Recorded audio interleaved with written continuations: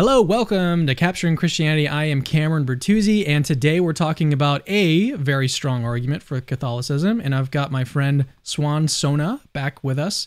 Uh, this is a sort of a part two. We had a part one dialogue where uh, he was trying to convert me in the first one. He was very unsuccessful. So I was like, hey, you know what? Why don't you come back and uh, and give it another shot? No, what actually happened was at the end of the stream, my power went out in my house. Like that that day, for some reason in my neighborhood, all the power was like going in and out of the neighborhood. And then later on the day, that day, my internet went out and it was just, it was horrible on the one day that I was streaming that week. Uh, so, anyways, we decided because we had a lot left to talk about, we were like, let's just do kind of a part two follow up to our dialogue. And in this one, we'll, what we'll be able to do is focus a lot more of our time, really all of our time, on this argument that you had prepared to to give in the in part one it's a. It's. Did you say it was like twelve different lines of reasoning or some something yeah, along those lines? I added it's one more, so it's now thirteen lines. So uh, there you we'll go. See. Yeah. Thirteen lines of reasoning, and this is a. You know, you you might want to call it a cumulative case type argument for the truth of Catholicism. Would you agree with that? I mean, I haven't seen it, but yeah, or at minimum, um, I would count it as a disproof of the Protestant ecclesiology. Okay. Okay. Uh, was is there anything that you would like to say by way of like caveat or before we before we jump in? Yeah. Well, like uh, if if you don't mind, I just want to explain too that I I've been battling a, a minor cold, and so if I sound nasally or more annoying than usual, that's why. And so uh, I appreciate you, Cameron, just inviting me back on, and uh, I hope that my voice won't be too much to deal with. Uh, and I think I'll be able to keep up. So you know, I don't think this is impairing any cognitive functions of mine. So uh, here's what I'm thinking, Cameron. Uh, let me summarize what we talked about last time for okay. anybody who didn't view part one, and then I do want to talk about two more points on classical theism, and then we can get right into um, the argument that I have for uh, for the Catholic magisterium. Okay, that sounds good to me. Yeah, I think like the most important thing we talked about last time was just how conversion is not a purely intellectual process. And I think a lot of people, at least when I looked at the comment section, they wanted to see me like dunk on Cameron Bertuzzi and Protestantism, but that's not really what I was going in for, you know. And even in the comment that I posted, I said that I care more about Cameron than winning an argument. And so, you know, when you're talking to somebody, sometimes, you know, you might have a successful argument, or sometimes you might be just explaining what convinced you and I know that, for instance, uh, Ezekiel chapter 3, verse 1 to 3 wasn't convincing for a lot of people. But I think the point of why I mentioned that particular verse was just to show that um, the Old Testament already anticipates imagery of us eating, so to speak, weird things uh, as part of the divine plan. And so, how that translates into the New Testament then is another discussion. So, yeah, I admitted that that was kind of a dud, and I'm not afraid to admit that because I'm not here to win an argument. I'm here to grow and learn with Cameron as well. Uh, the other thing is that we talked about the transcendentals and how they play a part in conversion. So we need truth, but we also need beauty and we need goodness. And I think, Cameron, you emphasized last time that truth was the most important thing, or at least it was the one thing that was holding you back from Catholicism. And so we got a little bit into, you know, Bayesian probability talk and uh, I think the what we emphasized a lot was intellectual virtue, and I want to stress that like so much because I think so many people, you know, they just want to see an argument that just knocks down everything else, or they just want to see someone get refuted and owned. But really, like in order to be able, like when you're judging another person's belief system, you need to have the intellectual virtues to be able to kind of see the world from their angle and see where your position might falter. And so we talked about, for instance, um, having a consistent standard. So if you judge someone by a standard, then your viewpoint has to also survive the same standard. Uh, we talked about uh, Sagan's saw. You know, extraordinary claims require extraordinary evidence. Uh, we talked about all sorts of other um, uh, things to keep in mind. So, for instance, you know, Protestants can't just presuppose in the investigation that Protestantism is the default or the norm, right? Uh, and and and things like that. And so I think that those were all important things to mention. We got a little bit into the doctrine of uh, analogy, and so let me just kind of begin there and then go on to my next two thoughts. Um, so when we discuss the doctrine of analogy, what I tried to argue was that at least all of us as Christians, if we accept the Orthodox conception of the Trinity, we have to accept something like a doctrine of analogy. And so I'd say that the doctrine of analogy pertains to our language when we speak about God, right? And so there are certain times in which we can't speak of God in a direct one-to-one comparison with reality, or at least our create our created order. So, for instance, like um, you know, we can give the description of God in His in, in the Trinity as you know three divine persons who are each fully divine without division in you know the one reality of God, you know, the monotheistic reality of God. And so, you know, you can talk about God in that way, but then if when you ask the question, how do you have three persons in one God and you don't have a tritheistic system? The how question, I think, is when you have to start using something like a doctrine of analogy, where you say, like, look, okay, I'm going to use something in creation to kind of illustrate the point, but it's not a perfect comparison to the uniqueness of the Trinity. Uh, and so that's something that I wanted to emphasize. And uh, Cameron, I remember last time you you kind of said that uh, you didn't understand the doctrine of analogy, or you didn't see like what was really going on. Um, but do, do you at least agree that there isn't a perfect one-to-one comparison um, to how the Trinity works in God in creation? I honestly, Suan, I don't even know what your question means. So when I think mm. about a how question in the way that you're using it, I it, like I, I want to think in terms of like is there some kind of explanation? I, I don't even know really what question you're asking. Like what kind of truth are you wanting to get at? Is there some kind of I I, do, I honestly don't even know. Like what is your well, how question?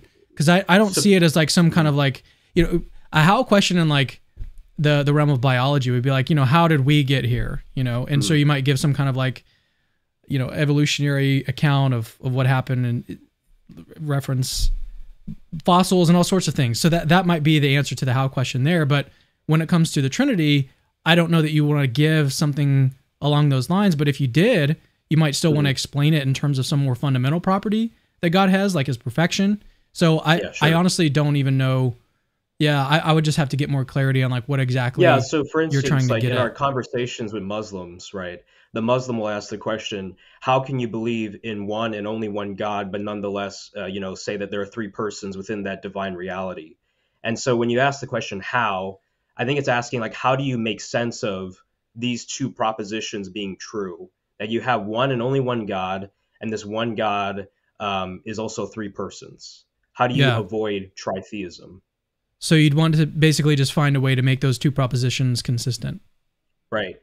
And so you know, people at this point then will use kind of analogies to show how you can have, let's say, um, for instance, you could have three things, you know, uh, subsist in one substance or something like that. So people will people will use analogies of like you know states of being, or even though if you take these analogies too far, then they do lead you into heresy, uh, and they don't lead you to the, the, Orthodox conception of the Trinity.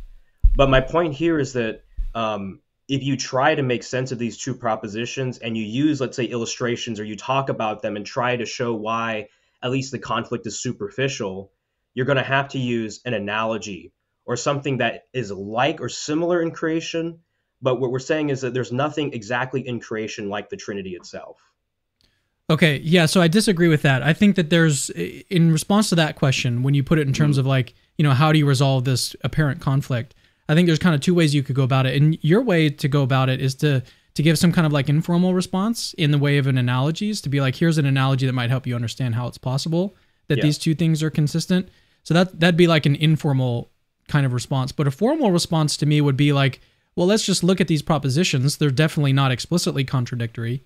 One God and three persons or 3 mm. beings. So it's not it's not that they're explicitly contradictory. In order in order to get an explicit contradiction, you've got to have A and not A but that's A and B. It's not A and not A. Right. So mm-hmm. a formal a, a, formal type of response would just be to show that like look, there's actually no formal contradiction here. So what the other person needs to do is actually to show that there is a contradiction. Show how one of the product one of the propositions uh, in conjunction with some other necessary proposition is going to entail the uh, the negation of the original proposition. So like A yeah. mm. or uh, B has got to entail not A in order for it to contradict a. So that to me is the way that we would resolve or answer that question formally would be to do it in kind of a, a logical. Oh, so you would switch form. kind of the burden of proof, right?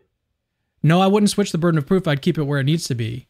I'd keep it exactly on them because they're right. the ones saying, you know, they're how how is this possible? That's that's the question. And so if they want to make some kind of argument, they need to put that in terms of like there's uh, there's an apparent contradiction, but just because something is apparently contradictory doesn't mean that it's actually contradictory. So if they want to make the argument that there's a contradiction here in the in the Trinity, then they've got to do some extra work in order to to show that. So that's that's the way that I would say that you could answer that question without having to go the analogy route, which is I, I think, like I said, more of an informal way of, of doing it, which is really helpful. And I think that that's probably where a lot of us would want to go if we're just having like a you know everyday conversation with uh, with a Muslim or or anyone else who has a question about the Trinities, we'd probably want to go the analogy route.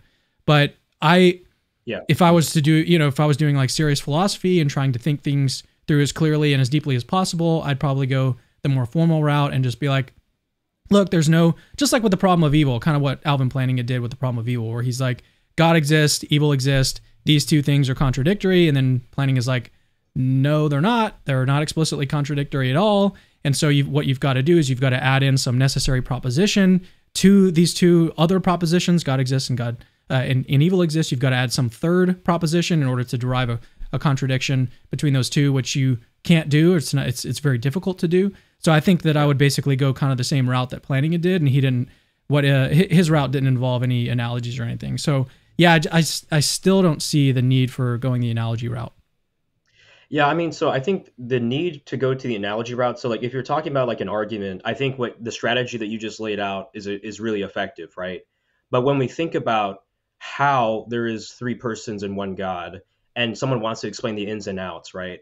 I think usually, like when we try to explain how in our created order, we refer to parts and functions, right? And so necessarily, when we talk about how things function or how things relate to themselves, you know, in creation we have to kind of break things into parts. And so that doesn't work with the Trinity, right? Because the Trinity can't, there can't be division within the Godhead. And so what I'm saying is that on one hand, I think the strategy that you laid out is effective. But when we try to get into the divine reality itself, um, I mean, I just don't see how you can easily avoid, uh, or rather, I don't see how you can say that you have to say that there's nothing in creation that is exactly like the Trinity in terms of um, how you have three persons within one divine reality. That's the that's the point that I'm making. Um, and I, I, I, don't, I don't think you would necessarily agree with that, right? What we're just saying is that the Trinity is so unique that it is not repeated in any form or way within creation. There's nothing that is exactly like the Trinity in creation. So, what is your question? So, my point is just to show that I think that you do have to at least use some kind of doctrine of analogy. But my point is that first, let's establish that there's a there's something so unique about God that there's nothing like it in creation, and that's where that's how you get the doctrine of analogy kicking off in the first place. Because you say that there's something so unique within God that whenever you try to use anything in creation to compare or explain it, you know necessarily that it's not a perfect one-to-one correspondence. Yeah, but then uh, so what? How, how does the argument flow from there? So like, yeah, there's nothing in creation that's exactly like God. Yeah, yeah. Otherwise, good. it would it would be God, right? Because right, right. I mean, you can't have identity without. Yeah. Yeah. So, so then, the so how does the argument? Yeah, I still I'm still having trouble seeing so how the, the argument flows here. Right. So the point of the classical theist is just to show that everybody has to use, at least use some kind of doctrine of analogy, or the recognition that one um, that God is unique and transcendent above anything else in creation, to the point that if we try to speak of God, like at least let's say, you know, you might believe that God is good in the same way that you and I are good to some extent, right? Maybe we, but he's like the exemplar of goodness or something like that. Um, my point here is just to show that I think that we shouldn't think of the doctrine of analogy as something totally weird or strange, because one, it's built on this idea of the total transcendence and uniqueness of God. And then secondarily, um, there are times when when we try to speak of God, we have to use things in creation, or at least you know the logic that we have in our experience of creation, and th- those things in creation don't perfectly map onto God Himself. So there's a there's basically a uniqueness to God. Uh, that's the point that I'm making. But uh, would you so say I'll that the second point is? Would you say that the second point is kind of that language is kind of imprecise or it's not exact? Yeah, language is impre- in, imprecise because when we like uh, try to understand something, like as I mentioned before, how you try to understand how uh, God can be three persons in one divine reality. Typically, when we ask how questions, we are asking about function or we're asking about parts or we're trying to break down things from top down uh, or rather from bottom up explanations and so my point is that um, language in that sense and how we understand things doesn't necessarily map on well to at least something like the trinity. But uh yeah cameron so i also i think i want to sketch out maybe 30 minutes just for like this opening stuff and then an hour for the magisterium conversation. Okay. but yeah i mean if this was a dud too then so be it you know? Uh yeah i mean cameron do, do you at least kind of see what i'm saying here? Like the well I, I understand now I understand your two your two arguments or your two points that you think uh, lead us to the conclusion that we've got to use some kind of doctrine of analogy. But I, I, still don't see how we're how we're getting there from these two points. So right. what so I like to do like the wholesale. It's not like the whole doctrine of analogy because then you need a bunch of background metaphysics to deal with everything else. I'm just saying in this particular case with the Trinity, um, I think we can agree that we need something like a doctrine of analogy. Okay. Uh, yeah. So originally we were talking about what, what what what were we talking about with the doctrine of analogy? The the answer to the how question, right? And right. so then mm-hmm. we we talked about that a little bit. But then see that's that's a lot different from these two other points that you just brought up. God is unique and then language is imprecise. So well, in the case of the Trinity, those I think those two things are true. Um, and my point, my so Cameron, like what I'm not trying to do is I'm not trying to get you totally on board with the doctrine of analogy in all cases, right? Yeah. I'm just trying to show that it's not. You're trying to open the door. Yeah, I'm trying to open the door, so to speak, right? Um, but I think you might be interested in my next point. So this is the other thing I wanted to mention about classical theism. Are you, let me say this real, real quick before yeah. we yeah let me just say this real quick i mean we could we could talk more about these two points that you just brought up because I, i'm still not seeing the connection there between that and the the point that you want to make opening the door to the doctrine of analogy but I want to address something that was kind of said in the comments of the previous video. Like Cameron's not able to follow along.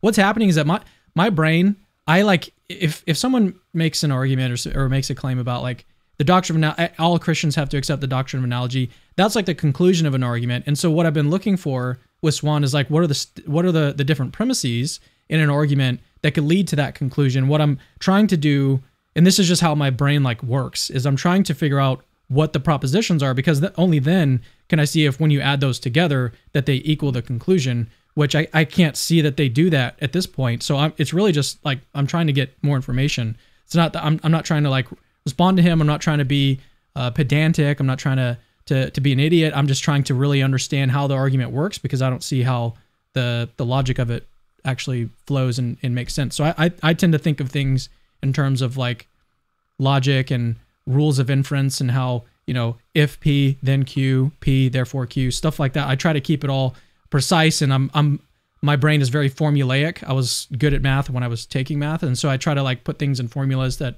make sense and flow and everything. So i just wanted to to give that little caveat that i'm not trying to be difficult. I'm just trying to really understand how the argument works uh, before i can sign off on yeah. it or and how about let me ask you cameron um, what do you think the doctrine of analogy is the doctrine of analogy, my understanding of it, and we we kind of talked about this last time, right? Yeah. Is is that we yeah our language is just kind of imprecise, and so when we're talking about God, we can only get kind of close to like a approximate ex- estimation of like what it is that we're actually talking about. So yeah. mm-hmm.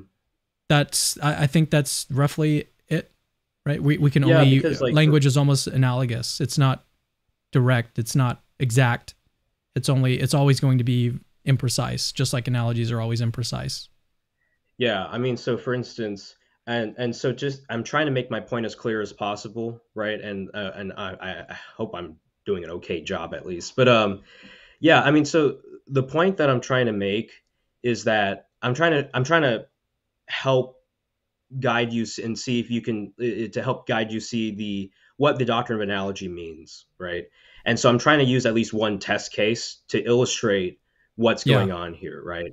And so, like for instance, yeah, I mean, I, some background. Yeah. Like I've always had issues with the doctrine of analogy because mm-hmm. I'm very analytical. It strikes me as, as almost like a continental kind of thing to me, and yeah. maybe I'm just wrong about that. You know, maybe maybe it's just that I don't see things or I'm, I'm missing something.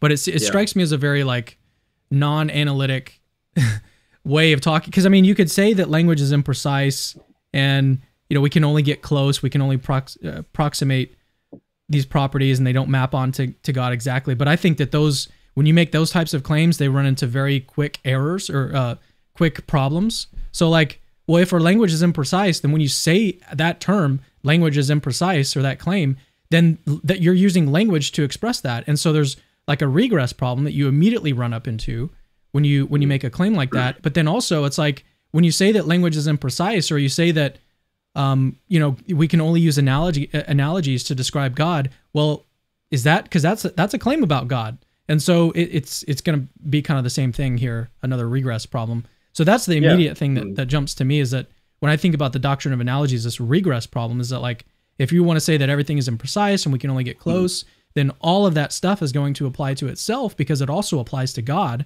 So yeah. it's just it seems very problematic to me, and I can't really understand.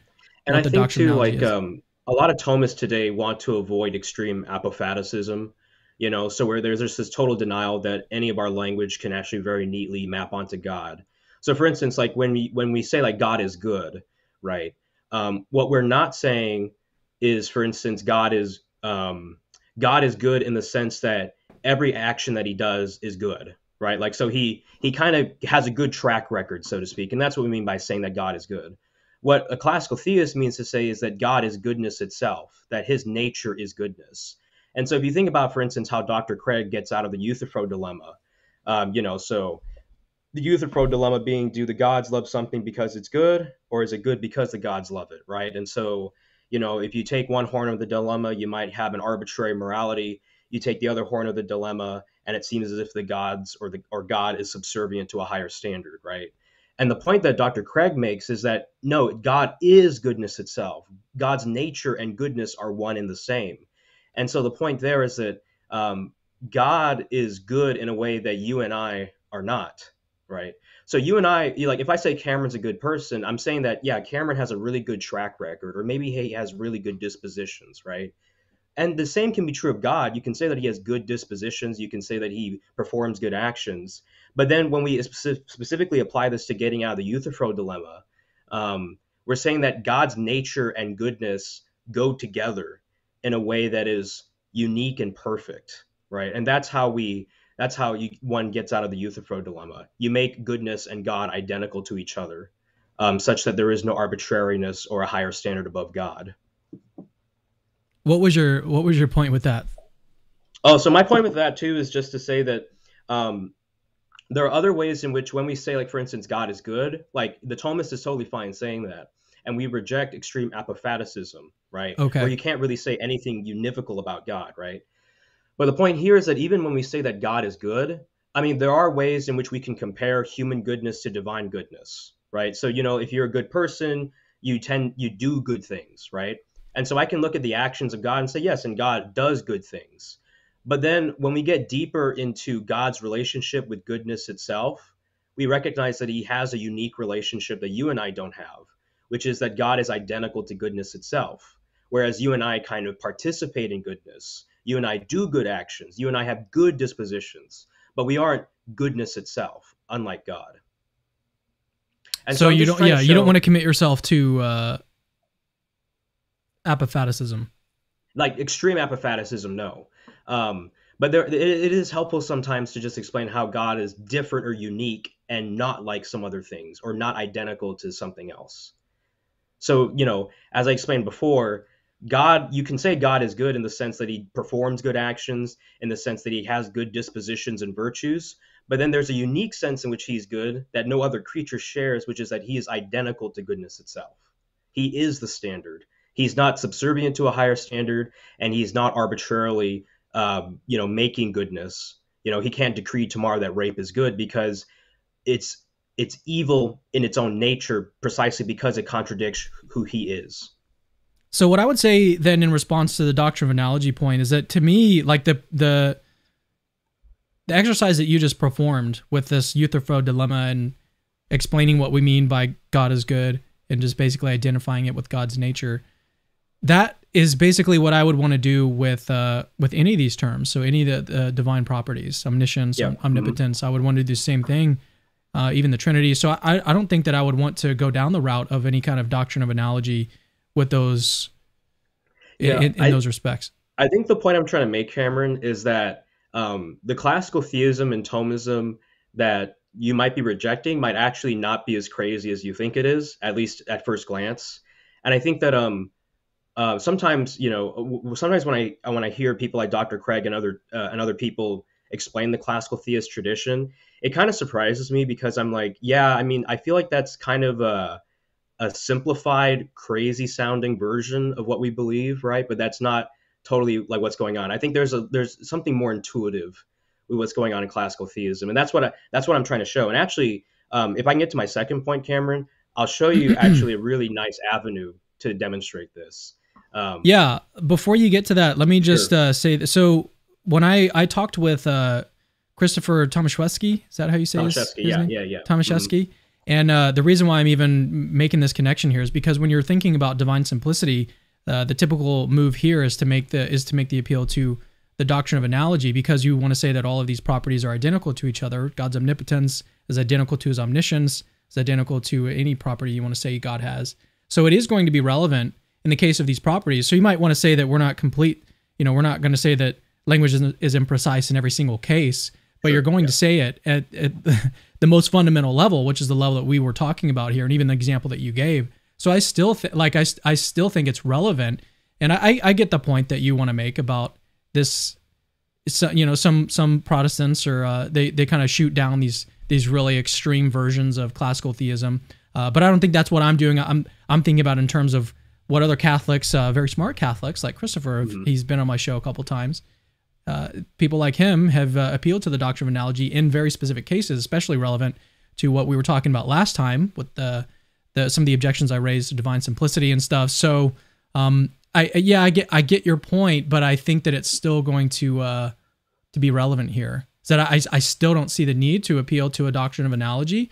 Um, you know, you, you may want to limit that to uh, just a few cases. The doctrine of analogy sure. doesn't apply across the board, but it applies to a few cases.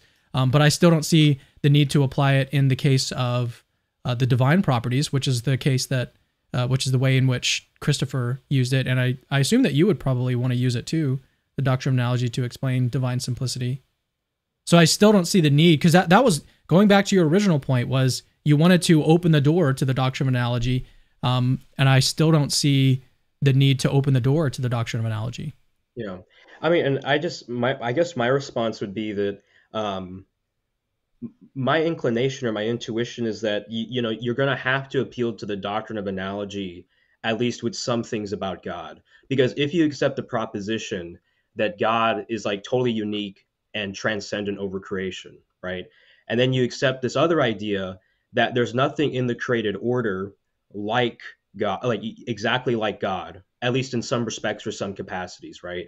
Then how you go about explaining the divine reality is going to require you to kind of take some liberties with language or stretch certain ideas and terms, right? So, for instance, like when I talk about each of the divine persons, typically speaking, like when we talk about eachness or we use that word each, it typically implies a division of some sort, right? But when we talk about the doctrine of the Trinity, that's not what we're trying to do. But let me get to the second point, Cameron, and then uh, yeah, let's can, move we on. Move We've on. been talking about yeah. the doctrine of analogy for half an sure. hour already. yeah. Uh, so the other thing I wanted to point out is that one of your favorite arguments for the existence of God is the contingency argument, and um, the contingency argument I read like I was listening to you know I in the past I'd listened. To you've listened interviewed me Josh. interviewed me on it. Yeah, I remember on your channel. While my room was like super messy and like back when I had less uh, nice equipment. Um, but so with the contingency argument, I was listening to Josh Rasmussen, you know, discuss it the other day, mm-hmm. and he began using terms that reminded me a lot of just Aristotelian terminology. So I think he use he sometimes uses actual and potential. Even mm-hmm. Dr. Craig sometimes uses this when defending the Kalam, right? And so it made me realize that the contingency argument is actually very similar to one of St. Thomas Aquinas's arguments for the existence of God. And other people, I think like Stephen Nimesh and uh, Christopher Tomaszewski have brought up this argument. And I kind of want to use the contingency argument as a way to illustrate the de ente argument or proof for God's existence, right? Uh, so as you know, with the so you want to you want to do that before we get to the to the presentation? Yeah, I'll try my best. Uh, okay. Just to explain it, and then we'll see how it goes. Yeah. Um, so uh, the contingency argument, of course, it's this idea, right, that there are things that are that don't have necessary existence. Um, they don't have to exist by necessity, right? And so uh, eventually, to explain the set of all contingent things, you either have a contingent explanation or a non contingent explanation, but it can't be a contingent explanation, so it has to be a non contingent explanation. If it's non contingent, then it's necessary, right? And so you need to have a necessary explanation for the set of all contingent things. When it comes to uh, St. Thomas Aquinas's version, which I'd call the de, which is the De Ente argument, Aquinas, you know, he says like, yeah, it's it's good that we talk about things in terms of them being contingent, right? But when we say that something is contingent, you know, Aquinas would want to talk about the composition of that thing or what makes it the case that it's contingent. And so Aquinas would talk about how there's a real distinction between a thing's essence and its existence, right? And so by that, I simply mean that, for instance, um, think about uh, the pro, you know, think about our human nature, right? Our, our, our status as rational animals. Um, we're contingent, right? So you and I don't have to exist. We could go out of existence. Um, and also, it's not the case that in every possible world, right, you know, rational animals like human beings, Homo sapiens sapiens, had to exist. And so the point here is that Aquinas would say that this means then that our existence is not entailed by our essence. That is to say that um, by nature, it's not the case that we necessarily have existence. Okay. And so there is a real distinction between our nature and the fact that we exist, so to speak. And then that's basically sim- very similar to the idea of the contingency argument, right? It's just kind of couched in different terminology. So, for instance, there's nothing about, let's say, the pro- you know leafness that demands that a leaf exists in every possible world, right? Uh, there's nothing about rational animality that demands that it exists in every possible world. And so it's just saying that things by nature don't have necessary existence. That's all that Aquinas is saying here. And so there's a real distinction where you could really imagine and have a coherent state of affairs where you know there are no human beings on planet Earth, or where there is no planet Earth, right? Or where this leaf that's outside my window goes out of existence in five seconds, right, or something like that. Um, and so Aquinas eventually says, okay, so if you have something, if you, so take all the set of contingent things, right, and they don't have necessary existence. So by their nature, existence is not entailed or secured, so to speak. Then at that point, you need something that is non contingent or that is necessary.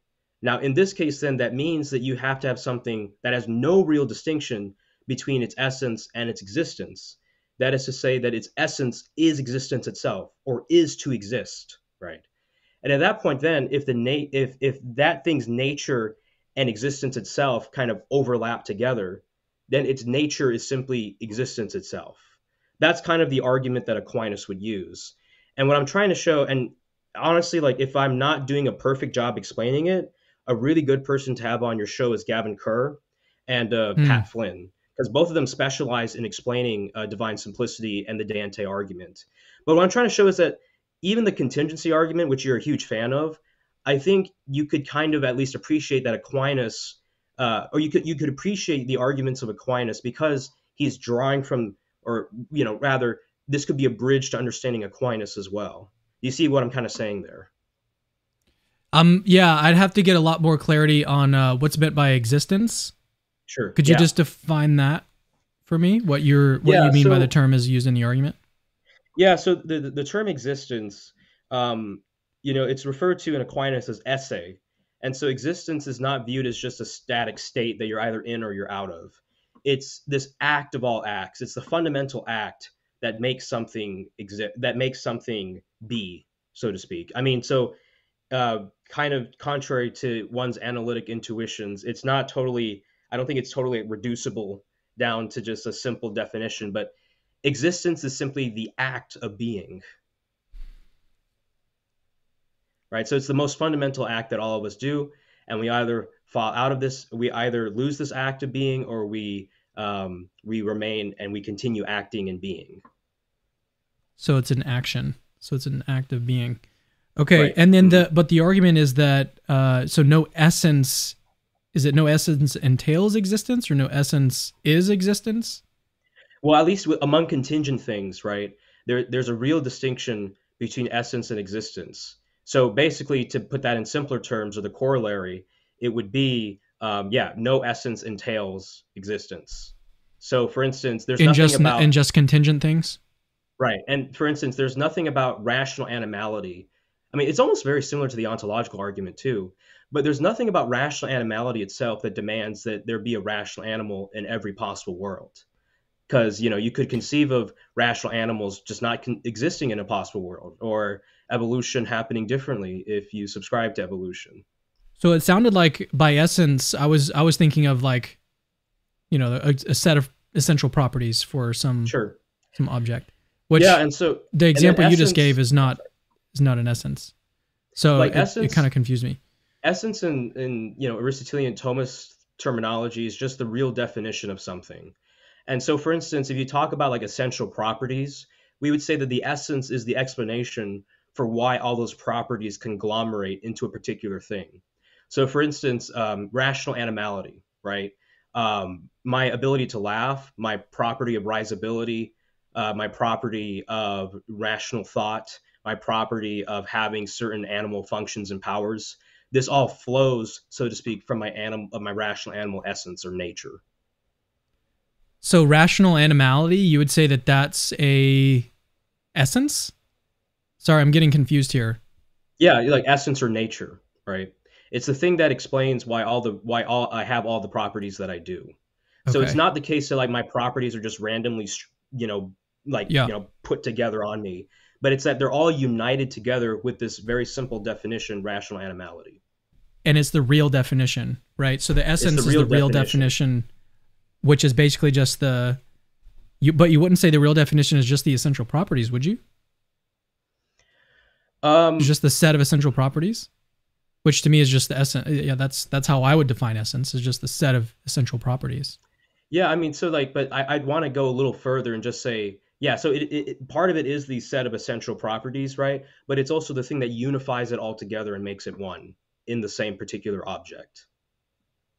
So you know the so like I think we're basically saying the same thing, but what I'm saying is is that um, the pro like the essential properties that something has, if you want a sufficient reason or explanation for why all those properties conglomerate into one particular thing, then the essence, which is this general unifier, so to speak, of all the properties, putting them all together into one thing, that's what we would call the essence.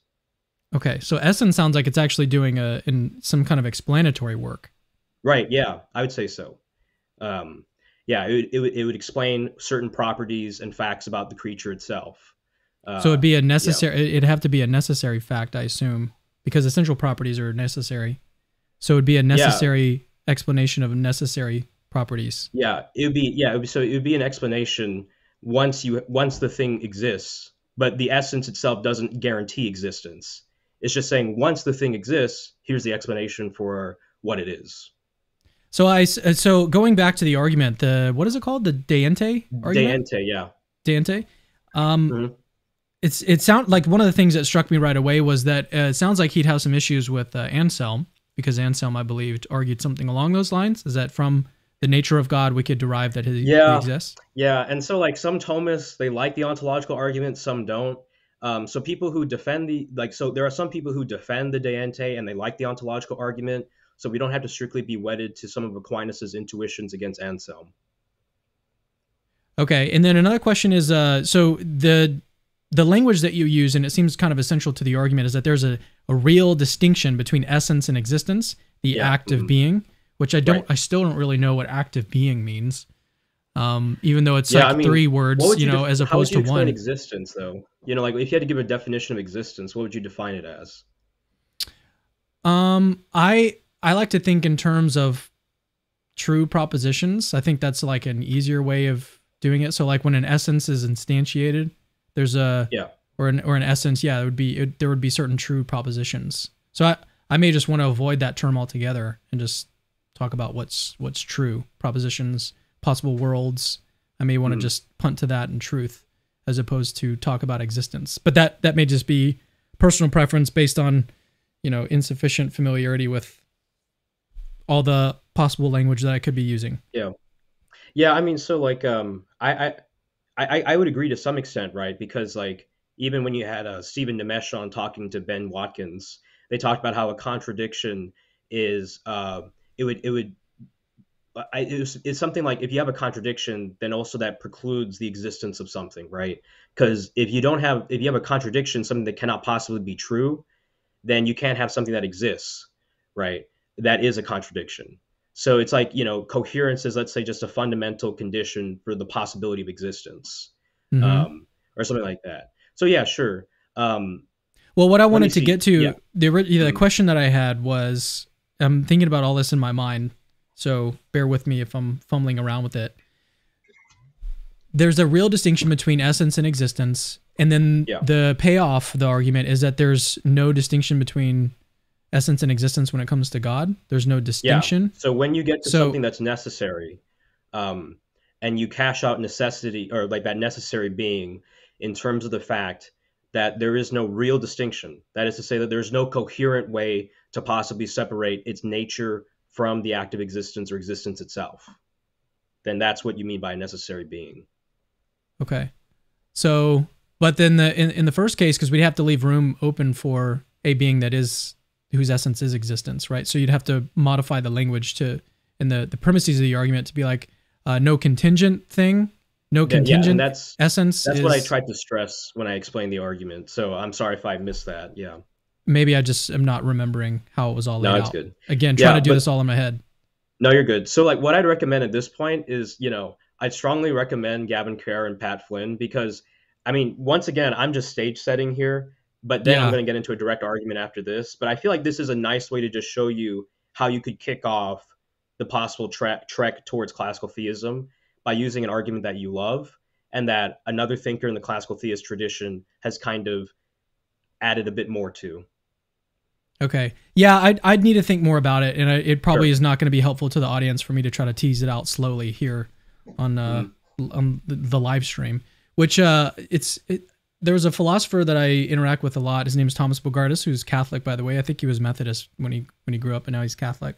Um, but he once said, and it's it's stuck with me ever since. He said philosophy is best done slowly, and I try to do that. Yeah. Like I try to think through things very slowly, and that's probably frustrating for a lot of people, not just Catholics watching, but uh, atheists who watch my channel as well when I do this kind of thing. So I just like to think things through as slowly as possible, so I'm not missing stuff, and I think that's the best way to do it, anyways. So.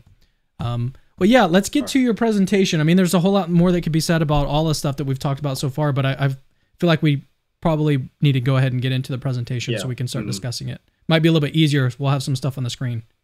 So yeah, I've got okay. it up, and just uh, let me know, or you you're you're actually controlling it on your end. So uh, feel yeah. free. And I'll, what I'll do, Suan, is I think I'll I may just pause when I've got a question along the way. How does that sound? Or would you prefer yeah, to just, just like go all the way through? Let me know. Okay. All right.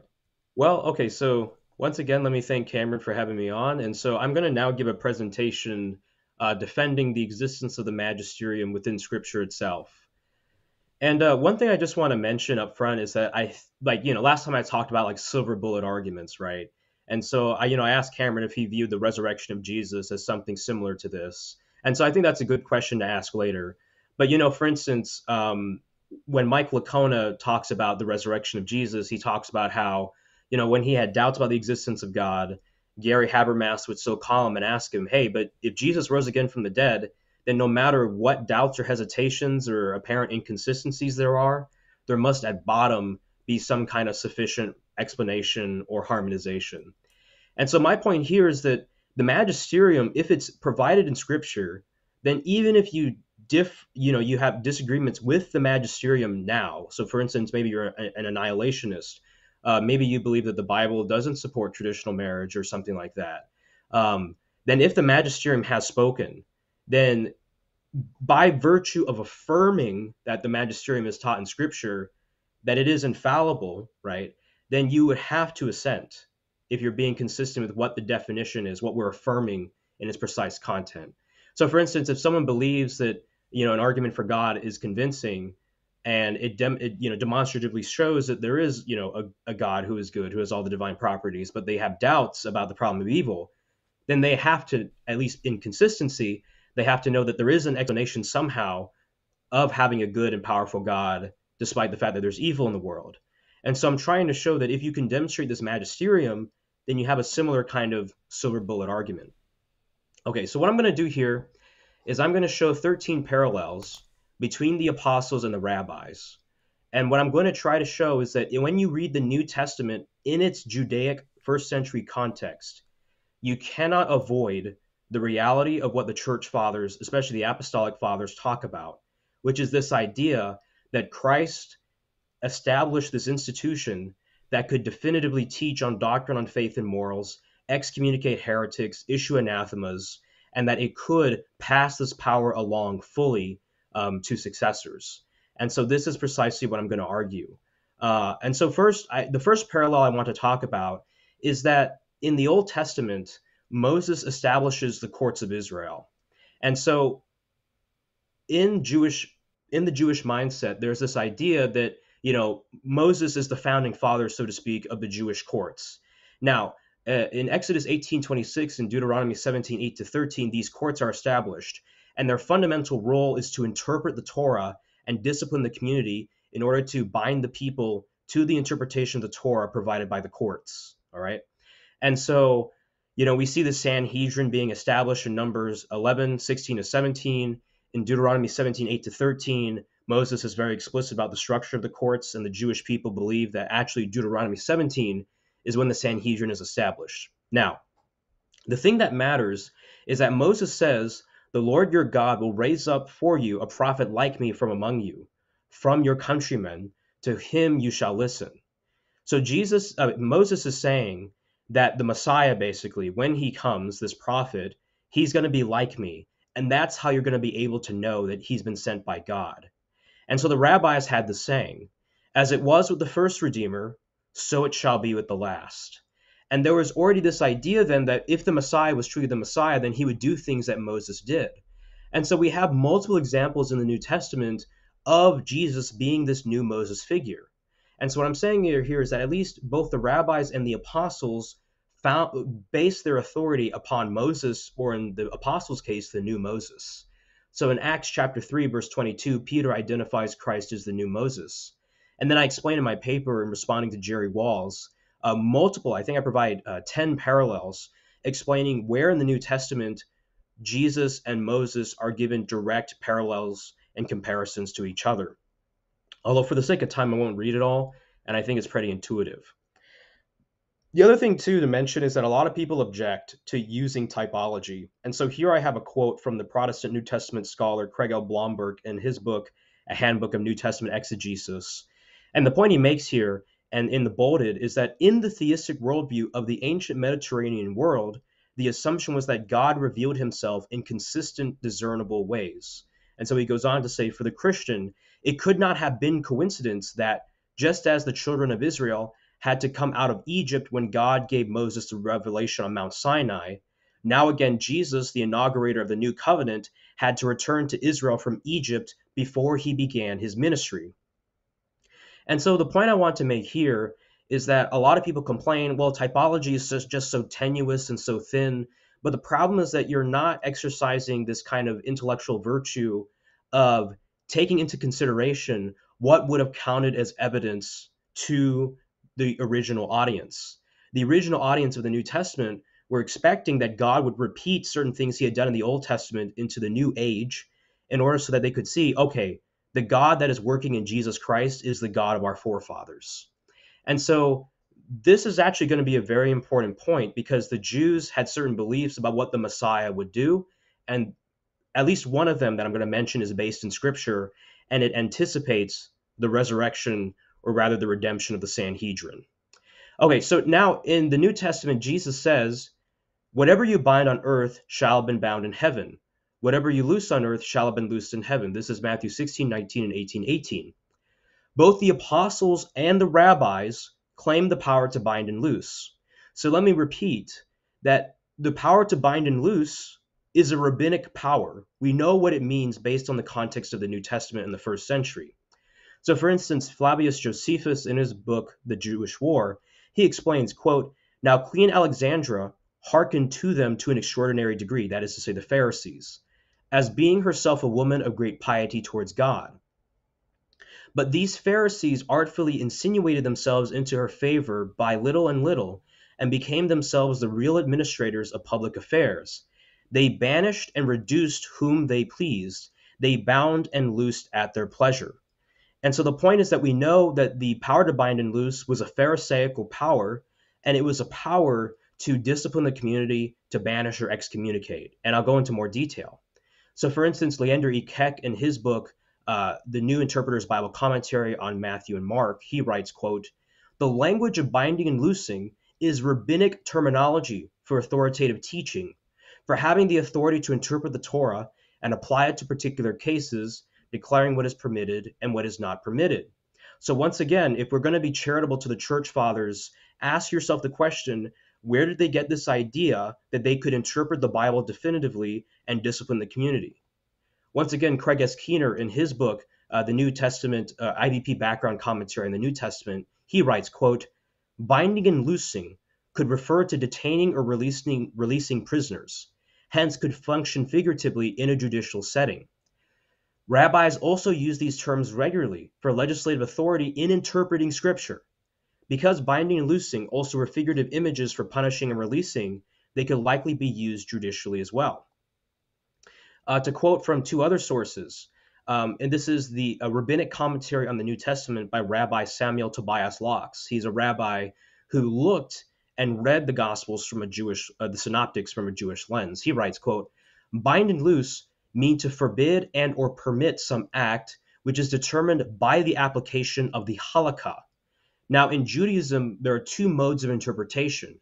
One is Agadah, and the other is Halakha. So, Halakha, as the new Encyclopedia of Judaism explains, encompasses practically all aspects of human behavior birth and marriage, joy and grief, agriculture and commerce, ethics and theology, or faith and morals. The point here is that Halakha was the interpretive mode of the rabbis when they were interpreting the scriptures to give a normative declaration about what must be believed. And hence, halakha, I think in Hebrew, literally means the way that one ought to act, or the, uh, the, way, the path that one must follow. We also see in the Anchor Bible Dictionary, quote, by conferring the power to bind and loose upon church leadership, Jesus authorizes it to interpret the scriptures and establishes norm for Christian behavior. The Christian halakha, on the other hand, binding and loosing are often interpreted as the power to ban members from the community and to readmit them. Once again, uh, this is from uh, Michael J. Walken, uh, Wilkins in his commentary, Matthew NIV Application Commentary. He's a professor at the facu- uh, faculty of the Talbot School of Theology. He writes, quote, In rabbinic terminology, binding and loosing describes the authority of the rabbis in teaching and, discipl- and discipline to declare what is forbidden or permitted and thus to impose or remove an obligation by a doctrinal decision. So, once again, these are Protestant New Testament scholars who are acknowledging that Christ gave the apostles this rabbinic power to bind and loose.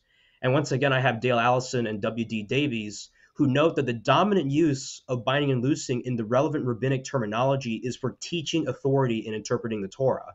And so sometimes uh, I've heard the objection well, Suan, I mean, binding and loosing just means excommunication. Well, in actuality, if you're doing the historical research, it was applied for excommunication on the basis of if you were to disagree with something that was orthodox or established as doctrine and necessary for belief to remain in the covenant and the community. And so Alfred Edersheim, in his book, The Life and Times of Jesus the Messiah, he offers a very nice summarization. The words binding and loosing are the literal translation of the Hebrew equivalents asar, which means to bind in the sense of prohibiting, and hetir, which means to loose in the sense of permitting. These two powers, the legislative and judicial office, which belong to the rabbinic office, Christ now transferred, and that not in their pretension but in their reality to his apostles. Once again, Christ is establishing a new rabbinic authority based upon the apostles. Now, someone might object, well, what was the function of binding and loosing? Well, both the rabbis and the apostles and their successors used binding and loosing to excommunicate heretics and issue anathemas. Okay, so let me quote you from the Jewish Encyclopedia. So the Jewish Encyclopedia says, quote, this does not mean that as the learned men, this is to say the Pharisees, they merely decided what, according to the law or the Torah, was forbidden or allowed, but that they possess and exercise the power of tying or untying a thing or binding and loosing a thing by the spell of their divine authority. This was an authority given to them by God and backed by heaven. Just as they could, by the power vested in them, pronounce and revoke an anathema upon a person. The various schools had the power to bind and loose, to forbid and to permit. They could bind all sorts of things, like, you know, a fast day.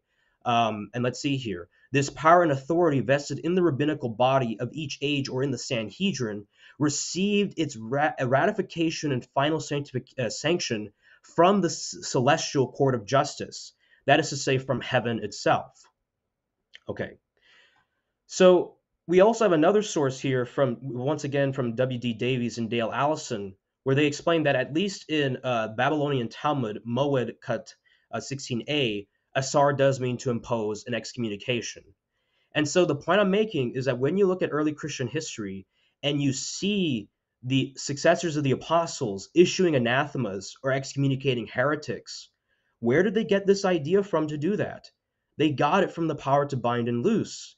And we know from the first century context and the later rabbis, that's precisely what they use the power to bind and loose as.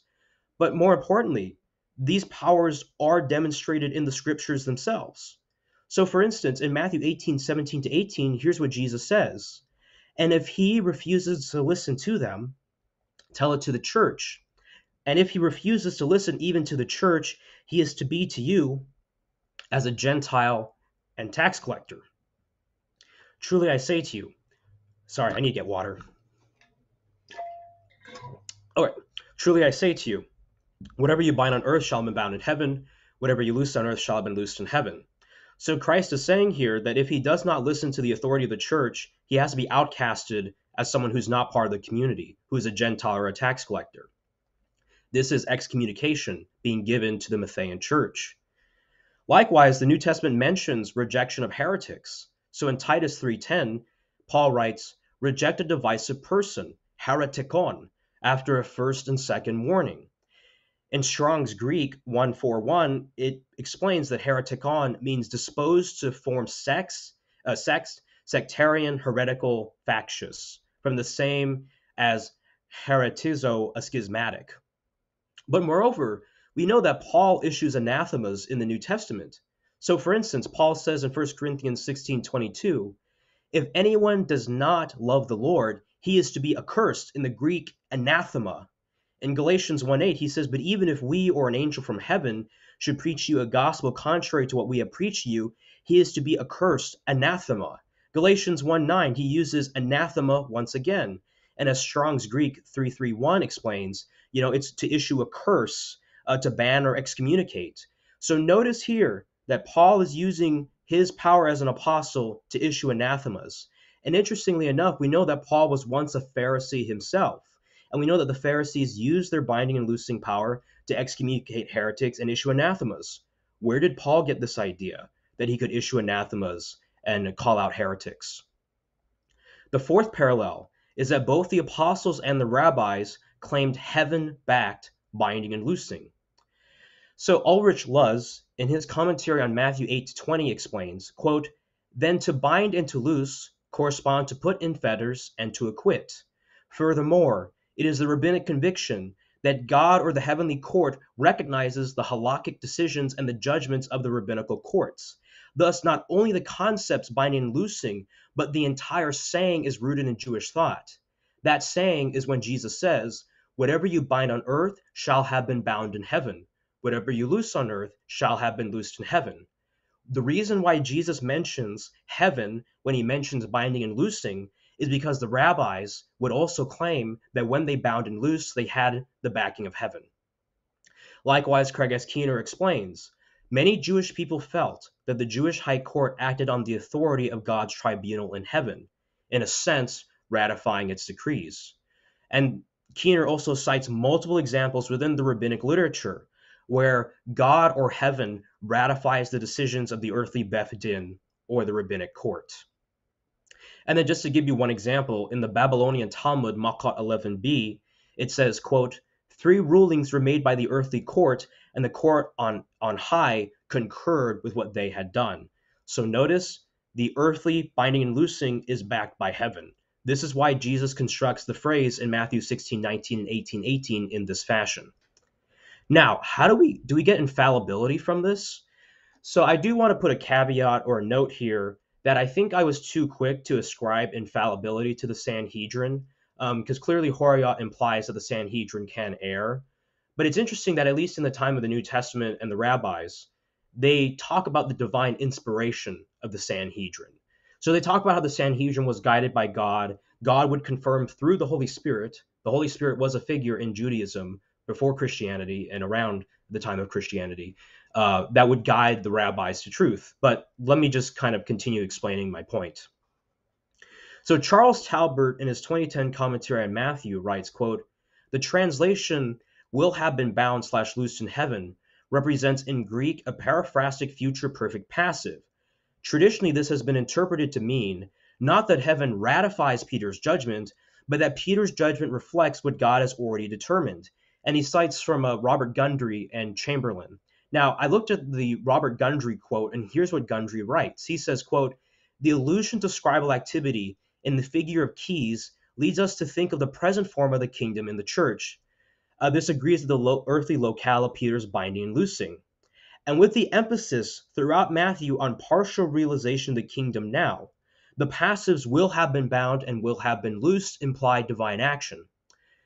So, in my engagements with my friend Steven Nemes, he has made the argument that, well, this doesn't imply infallibility or it doesn't imply divine action on God's part, because maybe Peter um, so happens to bind and loose this correctly, and, and Jesus is, is kind of reassuring Peter, okay, you will bind and loose correctly, but it's not because you know you're being divinely guided, but you're being faithful to my message. Here, Robert Gundry and Charles Talbert are saying no. Uh, this is implying that whenever Peter binds and looses, it will only be because God has, so to speak, divinely acted. So this is to say that Peter will only bind and loose what God has already bound and loosed in heaven. And even D.A. Carson in the Expositor's Bible Commentary on Matthew writes, quote, But if it is translated as the future perfect shall have been bound, the passage could be taken to support the notion that the disciple Peter must therefore enjoy infallible communication from God in every question of binding and loosing. But moreover, I want to emphasize a particular point in favor of this divine causality interpretation, where Peter only binds and looses whatever God binds and looses, including the rest of the apostles. So Jesus says to Peter, Blessed are you, Simon Bar Jonah, because flesh and blood did not reveal this to you, but my Father who is in heaven. So, in the Semitic phrase flesh and blood, this is to say human power. So, it is not Simon Bar Jonah you know, deducing that Jesus is the Messiah, the Son of the living God. It wasn't by Peter's deduction or inference from certain experiences. It was because it was divinely revealed. Um, some of the Protestants that I've engaged with who defend something like Steven's interpretation have had to deny, at least if they're being consistent with their counterinterpretation, that Peter did not receive divine revelation here. But to me, that seems to simply militate against what the actual context is. And even, in fact, other New Testament scholars like Ajith Fernando, and uh, I'm trying to see here. I think that's Craig S. Keener's commentary on the bottom. Uh, whoever that is, I have a, a, little icon in my way of seeing the full description. Um, or Eckhart J. something. Uh, all of them acknowledge that Peter had something like a gift of prophecy, where he received private help and guidance from God to know the truth. So, for instance, in Acts chapter 5, verse 1 to 11, in the instance with Ananias and Sapphira, where they hoard their property from the Jerusalem church and are exposed, it, they Ananias and Sapphira never tell Peter that they had hoarded their property from God, the property that was supposed to be given to the Jerusalem church. And yet, nonetheless, Peter was able to know what they had done. And so I've highlighted here the portions where it seems as if Peter continues to have this gift of prophecy and private guidance. All right, parallel number five. Do we? Do you mind if I jump in here? Yeah, sure. Yeah, I'd like to, uh, if we can, just kind of pause and, and summarize where we've come so far. Sure. So uh, yeah. uh, it sound it, it, seemed like let me put it put it back up. Original authority. Are you? This seems to be like we're moving on from binding and loosing. Is that right? Yeah, to some extent. So now what I'm going to show is that the power to bind and loose can be passed with full authority to the successors. Okay. this is the proper Jew- Jewish context in which you are to understand uh, the New Testament and what comes later in the church. Okay, yeah, I didn't want to cut you off like mid Sure. mid thought or And mid also, I've been argument or whatever. rambling on, and so I feel kind of bad. But you know, this is my presentation, so yeah. No, and I'm I'm kind of like I mean I would like to just process this a whole lot more before I was able to be even be close to be able to to offer like critical thoughts of it.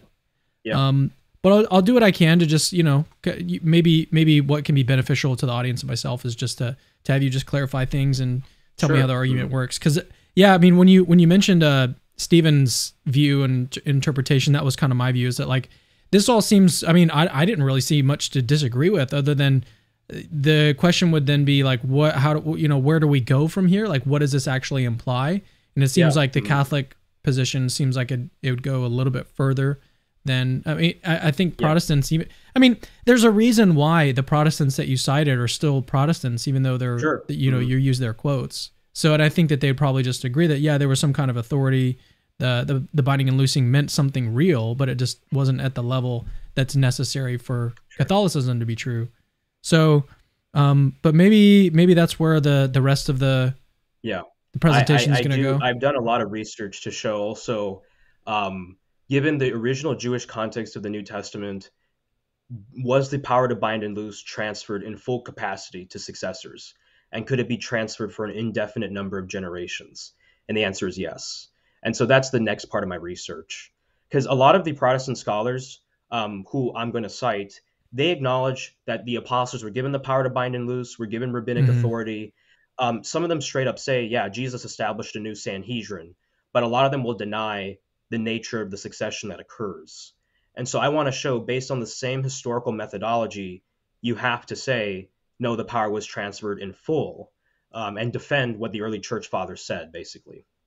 the what was transferred in full sorry i missed The power to bind and loose, to declare halakha on scripture Okay. and doctrine on faith and morals. Okay. So I guess a question that I've got, and then I I don't know if this will be answered in the rest of the presentation, but it sounded like the the previous one where you were talking about the heavenly authority.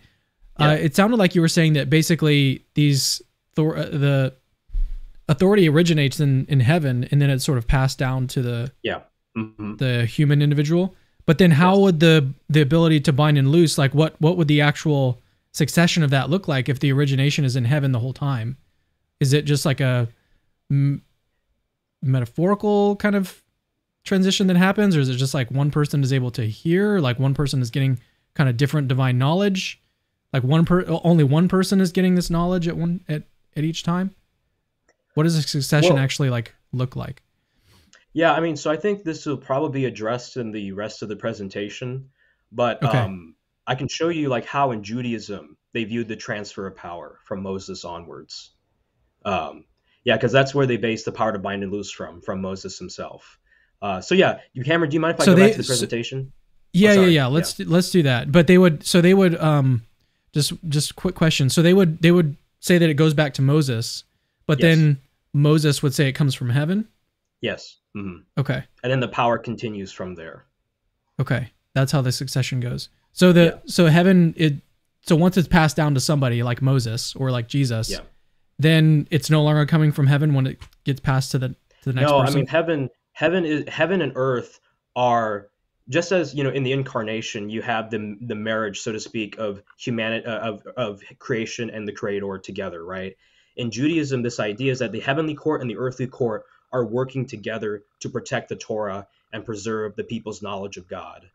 And so there's definitely a very intimate relationship between heaven and earth in this view of Judaism, especially in the Second Temple period. but the authority would it come would it still be coming from heaven when it when it comes to succession? Yeah, it would still be coming from heaven, but you it would be institutionally passed on to a successor on earth. Okay, but the successor on Earth is what are, what are they doing in the process? They're just getting the divine knowledge, right? Because it's been the originate, the source is from heaven, right? They're just getting the knowledge of it. Um, so they receive institutional uh, authorization to be able to declare the halakha, and especially to serve on the Sanhedrin and form a court and interpret the Torah. Um, but yeah, let me let me get to the presentation because that's where I explain in more detail what's going on here. Yeah. All right. Okay, so then the fifth parallel to mention is that both the successors of the apostles and the rabbis claim to rule the authority of their founder. So what I'm trying to show here is that if you're interpreting the power to bind and loose and what's going on so far in the original Jewish context of the New Testament, then what, for instance, the church fathers say in the Seventh Council of Carthage is not unfounded. So here's what they say. I think this is Cyprian of Carthage speaking. The words of our Lord Jesus Christ are plain that he sent his apostles and gave to them alone the power that had been given to him by his Father. And we have succeeded to them, governing the Lord's church with the same power. And then we see in the Babylonian Talmud by the rabbis in Rosh Hashanah 25a, uh, I think this is uh, one of the rabbis, uh, I thought it was Gamaliel, but he's cited anyway. If we call in question the decisions of Rabban Gamaliel, we must call into question the decisions of every Beth Din or court which has existed since the days of Moses up to the present time. For it says, Then went up Moses and Aaron, Nadab and Abihu, and seventy of the elders of Israel. Why were the names of the seventy of the elders not mentioned?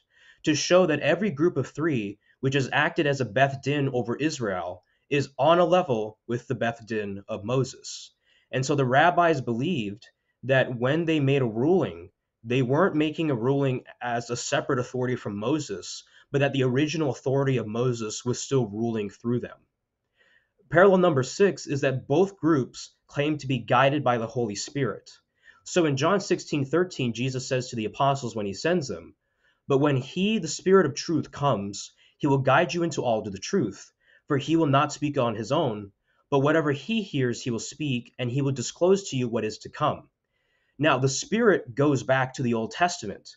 And remember, the rabbis claimed in the book of Numbers and Deuteronomy and even Exodus that their rabbinic courts were founded in these passages. Here's what God says to Moses The Lord therefore said to Moses, Gather for me seventy men from the elders of Israel, whom you know to be the elders of the people and their offices and officers, and bring them to the tent of meeting, and have them take their stand there with you. Then I will come down and speak with you there, and I will take away some of the spirit who is upon you. Notice it's a who, it's a person, and put him upon them. And they shall bear the burden of the people with you, so that you will not bear it by yourself. Now, we know in the literature of the Jerusalem or Palestinian Talmud that the rabbis claimed that the Holy Spirit, the Holy Spirit guided them into truth to be able to come to correct halakhic decisions or gain secret knowledge.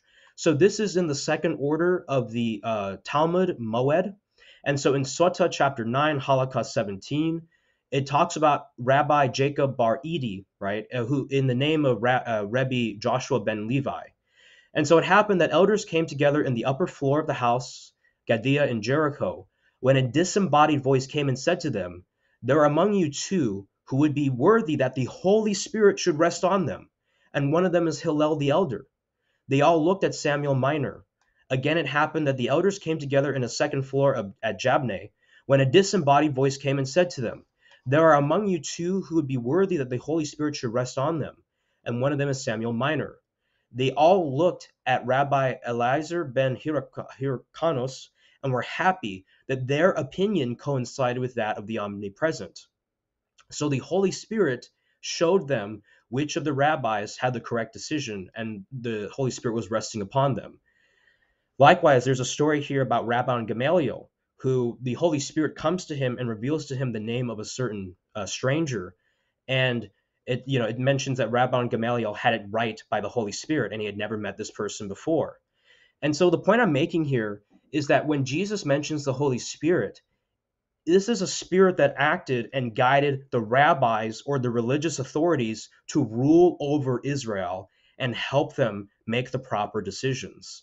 And so when Jesus mentions the Holy Spirit in John 16 13, I think that's a close analog to understanding the Jewish context that he's talking about church leadership being guided by the Holy Spirit. Now, here's the interesting point. Uh, this is point number seven to eight the laying on of hands and succession records. So both the rabbis and the apostles used the laying on of hands to ordain men, and both the apostles and the rabbis used succession records in order to determine who could validly serve as an authority. Sir Alfred Edersheim, in his book The Life and Times of Jesus the Messiah, he writes, quote, "The judges of all these courts, the great Sanhedrin and lower tribunals, were equally set apart by ordination, semika, originally that of the laying on of hands, ordination was conferred by three, of whom one at least must have been himself ordained and able to trace his ordination through Joshua to Moses. Moreover, as I mentioned down here, we know that the laying on of hands for ordination was practiced in the New Testament, and I provide citations Acts 6 3 to 6, 13 2 to 3, and 1 Timothy 4 to 14. And likewise, uh, Bruce Metzger and Michael Coogan, in their book, The Oxford Companion to the Bible, uh, back up this point. Now, what's interesting is that Michael Berger, in his book Rabbinic Authority, published by Oxford University Press, notes those without it, ordination tracing back to Moses, even if objectively quite erudite, are simply not authorized in the same way as the ordained scholar. So even if you were a very intelligent rabbi and you could teach in a synagogue, the problem is that if you did not have ordination going back to Joshua and Moses, if you didn't have that succession record on you, then you could not serve in the greater courts of Israel. You could not bind the conscience of all of Israel in the rulings of the great Sanhedrin. And so there's a clearly an institutional sense in which succession was passed on. Now, the power is fully passed uh, in principle for an indefinite amount of generations. And so here I cite from multiple dictionaries written by scholars of Judaism and rabbis and so on and so forth, where they explain, for instance, this is in the Dictionary of Judaism in the Biblical Period. Um, through this deed, that is the laying on of hands or semikah, Jewish leaders were empowered to perform judicial functions. The concept of semikah is based upon Moses laying of hands on Joshua, thereby transferring to Joshua a portion of the divine spirit that is rested on Moses.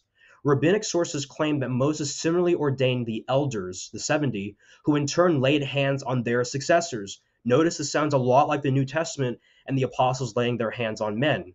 In this view, an unbroken chain of authority existed from Moses through early rabbinic times. In early Christianity, notice now we're going to Christianity, laying of hands similarly signify an extension of particular authority and blessing, and they have the scriptural citations there. In the Gospels, the gesture accompanies healing and blessing, uh, and so on and so forth, including exorcism. In the New Encyclopedia of Judaism, when they talk about Semikah, it says the ritual transmission of spiritual authority. It talks about how this was based upon Moses who passed it to Joshua. Um, and let's see here. And then we know from the writings of the Jewish people very early on in the Mishnah Avot 1.1 or the Avot of Rabbi Natan that it records how the Sanhedrin of the time of Christ had the authority to bind and loose passed on through Joshua to the men of the great assembly or the Sanhedrin. And so it notice it, note in the last sentence it says the recipient received the title of rabbi and was endowed with full judicial authority. And then I also the Oxford Dictionary of Jewish Religion showing basically the same thing once again. So to quote from the Mishnah Avot 1.1, Moses received the Torah from Sinai and handed it down to Joshua, and Joshua to the elders, the elders to the prophets, and the prophets handed it to the men of the great assembly. The great assembly is the Sanhedrin. Okay. And then I want to emphasize once again that, for instance, when Jesus says in Matthew 23 2 to 3, the scribes and Pharisees sit on Moses' seat, in Greek, that is Moses Cathedros. So do and observe whatever they tell you, but not the works they do, for they preach, but do not practice.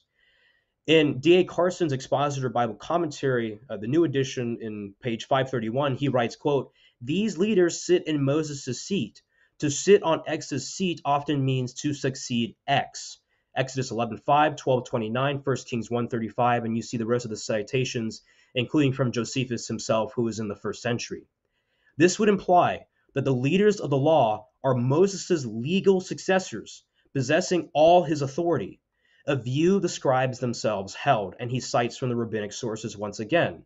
And so Moses existed before Jesus about 1400 years, uh, given some conservative estimates.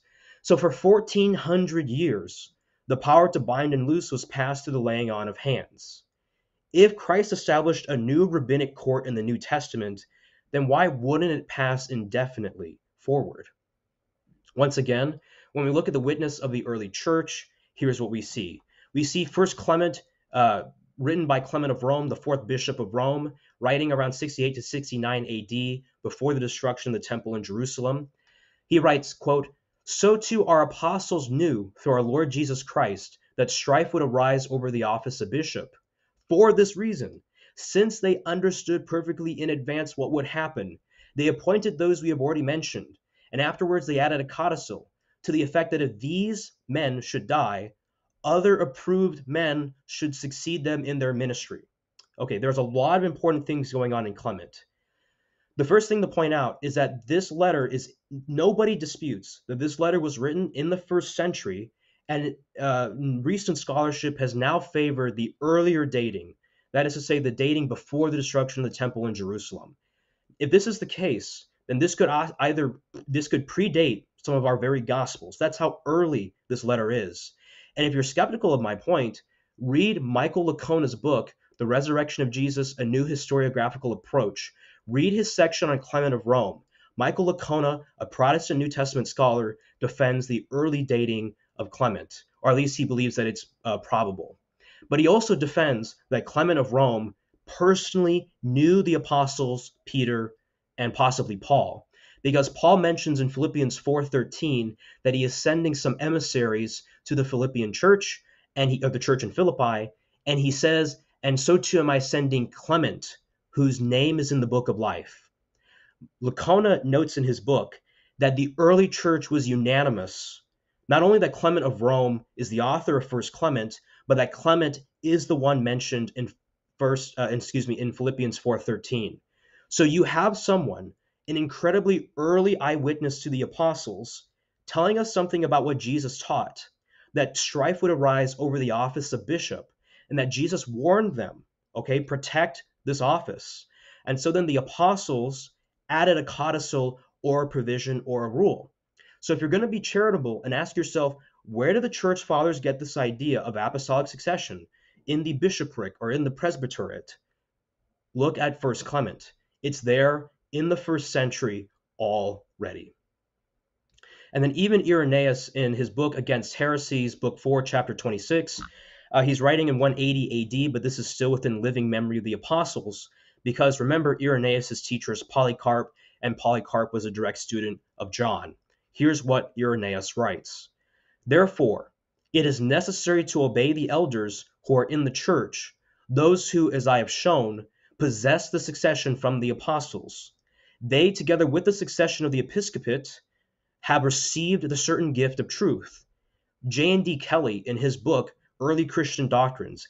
Kelly is not a Catholic, he's an Anglican, uh, Roman Catholic. He explains that the certain gift of truth, Irenaeus means infallibility, according to the good pleasure of the Father. And it is necessary to hold in suspicion others who depart from the primitive succession and assemble themselves together in any place whatsoever. Consider them either as heretics of perverse minds, or as schismatics, hereticons, puffed up and self pleasing, or again as hypocrites, acting this way for the sake of money and pride, for all these have fallen from the truth. What's the point of mentioning these church fathers? The point is this if you're going to steal man the church fathers or be charitable to them and understand where did the church get the idea that we had apostolic succession, that we could bind and loose, that we could issue anathemas. When you look at the early first century context of the New Testament, it's hard to miss it. And I also want to make this point. Some people will object, but I only accept sola scriptura. That is to say that you only believe that scripture is infallible. Well, in 2 Thessalonians chapter 2, verse 15, Paul says to obey the traditions, whether handed down by word of mouth or by letter. We have an apostolic tradition here. Clement of Rome is probably the best early evidence that we have of an extra biblical apostolic tradition. Some people will object, well, no, the apostles wrote down all of their traditions in the New Testament. If you believe that, then how in the world can I falsify that belief? Because here I'm presenting you a source from the first century that knew the apostles and was trusted by them, that shows you a clear counterexample to the claim that the scripture contains all of the apostolic traditions. We have here an apostolic tradition that originally appears to have been passed by word of mouth and then is later written down by Clement himself. So I'm saying even if you take sola scriptura seriously, you cannot dismiss what First Clement is saying here. His testimony is so early that it is almost impossible, I'd say, to say that it is inauthentic. Now, the other thing I want to mention now is the point on tradition. So there are written and unwritten traditions in both Judaism and in early Christianity. So in early Judaism, they had this idea of the oral and the written Torah. That is to say, they had written traditions and oral traditions. The written tradition eventually becomes the Pentateuch, or the books of Moses. The rabbis of the Second Temple period, that is to say, the period during the New Testament, believed that God delivered two Torahs to Moses on Mount Sinai. The written Torah is part of, but not the entire story. The oral Torah, passed on by oral tradition and preserved by rabbinic authority, contains the proper interpretation of the written word, and it includes other things like uh, feast days for the Jewish people and holidays and so on and so forth. Remember I mentioned 2 Thessalonians 2:15 where written and unwritten traditions are mentioned. And I have other scriptural citations there where Paul mentions the things that he's handed down. Craig Keener points out in his commentary on 2 Thessalonians 2:15 on the IVP New Testament background commentary, quote, Pharisaic Judaism emphasized the careful passing on of traditions from earlier teachers. Paul passed on to the Thessalonians believers the teachings of Jesus, many of which he has alluded to in this chapter. Notice that Paul even though he is now part of Christianity, he's still using some of the things that he learned as a Pharisee in order to preserve the churches, to teach them how to organize themselves and how to pass on traditions. Likewise, when Keener speaks of Galatians 1:13 uh, to 14, where Paul talks about his piety as a Pharisee, he notes, quote, traditions could refer to general community customs, but given Paul's Pharisaism, Philippians three 3:5, it probably refers to Pharisaic traditions on which Jews discussing Pharisaism generally commented. Pharisees were known for their adherence to oral tradition. Paul thus understands the Jewish Palestinian piety of his day far better than his opponents do. And so, what I'm arguing here is that there's a clear parallel between the rabbis and the apostles, especially Paul, in the passing on of oral and unwritten traditions. Number 10, the office of presbyter or elder also existed in the Jewish courts and the church itself. So the word presbyteron refers to a council of elders, whether the Sanhedrin of Jerusalem, Luke 22 66, Acts 22 5, or a council of Christian leaders. 1 Timothy 4:14, uh, Ignatius's uh, epistles to the Ephesians 2 2 and 4 1, Magnesians 2 1, 13 1, Trallians 2 2, 7 2, Philadelphians 4 1. Uh, the letters of Ignatius were written at the end of the first century and into the early second century. Ignatius is a direct student of the Apostle John, and he refers to the Christian leaders as the presbyters or the elders. The same word is used to refer to the elders in the Sanhedrin.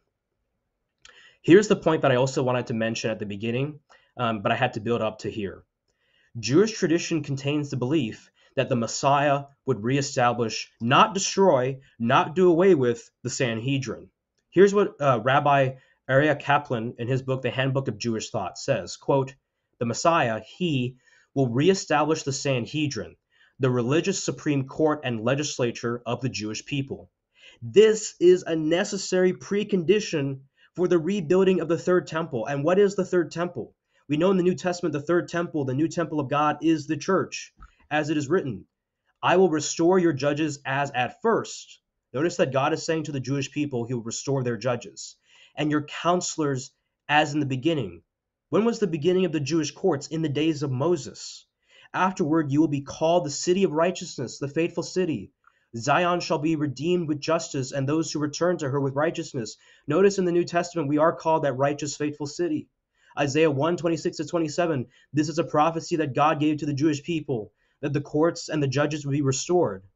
Such a Sanhedrin would be able to formally recognize the Messiah as King of Israel. The other day, I was reading through a book titled Matthew's, uh, excuse me, titled A Vision for the Church: Studies in Early Christian Ecclesiology, uh, edited by Michael Thompson and Markus Bockmuehl. And in the chapter Matthew's Vision for the Church, here's what Michael Goulder writes, and I don't think Goulder is a Catholic at all. He says, quote, There was, however, a second and greater source of divine law since Jesus came. And he had not only laid down many prescriptions for the church himself, but he had also set up a kind of Christian Sanhedrin, the apostolic college, to interpret his rulings. Jesus had called Simon Cephas the rock, And Matthew took this to mean that he was like a foundation stone to the church as a building, to which, in another metaphor, he held the keys. And he talks about how Matthew is a marvelous teacher and that he uses brilliant images. And then he says, binding and loosing were regular Jewish terms for the authority of the sages to enforce rules or make exceptions. And he cites the Jewish sources once again. And Peter is being given this exact same authority in the church. Any enforcements or exceptions he makes, Jesus will ratify. Exactly the same words are used in the plural to the 12 at 1818. So, Matthew sees the Apostolic College as a Christian equivalent to the Sanhedrin. What was the Jewish prophecy? That Jesus would restore the courts of Israel, that the Messiah, as the new Moses, would do what Moses had done, establish a court that could interpret the Torah, that could interpret his teaching, interpret the divine law. And we see in Luke 10:1, Jesus, like Moses, appoints 70 disciples to assist him in his mission. But it gets even better. We know that the early Christians identified themselves as God's Sanhedrin. This is Ignatius of Antioch, remember the direct student of the apostle John. He writes, quote, in his epistle to the Trallians, "In like manner, let all reverence to the de- uh, let all reverence the deacons as an appointment of Jesus Christ, and the bishop as Jesus Christ, who is the Son of the Father, and the presbyters as the Sanhedrim of God and the assembly of the apostles. Apart from these, there is no church. The direct disciple of the apostle John is saying that, that the presbyters are the new Sanhedrin of God. This is written in the first century. This is the final point that I'll make, which is that Jewish authority revolved around a cathedra or a chair or a seat with universal authority, as does a certain Christian tradition, Catholicism. And so this will be a way of setting up an argument for the papacy. So remember, uh, in Matthew 23, 2 to 3, Jesus mentions the seat of Moses. Michael Berger, in his book Rabbinic Authority, he mentions the fact that the Sanhedrin, who sat on the seat of Moses, exercised an ex, ex cathedra authority because it's from the cathedra or the chair of Moses. So Berger writes, in this chapter, we will examine the claim that the sage's authority is in fact that of the Sanhedrin, this is a form of ex cathedra authority. The office is authoritative for various reasons, and these persons, the Talmudic sages, occupy that office. He also cites on page 58 in this sense, I am discussing now semicha, remember ordination, is really a classic case of ex cathedra authority, where we deem someone to be sitting in a seat of authority. The contemporary or, ordained ordinand, excuse me, sits in his teacher's seat, but as a logical regression, the question ultimately takes us back to Moses. This forces us to address how the Jewish tradition understands the nature of Moses' authority. And then finally, uh, Herbert Basser and Marsha Cohen, in their book, The Gospel of Matthew and Judaic Traditions, they also explain that they believe the seat of Moses is the high court of Jerusalem or the Sanhedrin. And then they write to our mind, or to my mind, this is the high court in Jerusalem, which issued binding decrees ex cathedra, speaking anachronistically. Now, it's anachronistic because the Jews did not have, um, they did not believe in ex cathedra in the same sense that, um, you know, that, that Catholics use it today. But there's a, a sufficient similarity where it's a final, definitive, universal ruling from the chair of someone. All right, and that in that sense, then the analogy analogy can be made. So the argument that I'd make then is that Peter, like Joshua, is seated upon the seat of Moses. Now, I am not basing my argument here on the work of a Catholic New Testament scholar. I'm basing my work on a Protestant Lutheran New Testament scholar who admits that Christ commissioned Peter to be head shepherd over Israel as his successor in John 21 15 to 19. Let me repeat this is not a Catholic source. This is a Protestant New Testament scholar who recognizes this point. Now, we can talk about why he's still Protestant, but he's acknowledging this much which goes to show that at least when later popes and later church fathers, you know, use John 21, 15 and 19 as a proof text of the papacy of the supremacy of Peter, they're not wrong.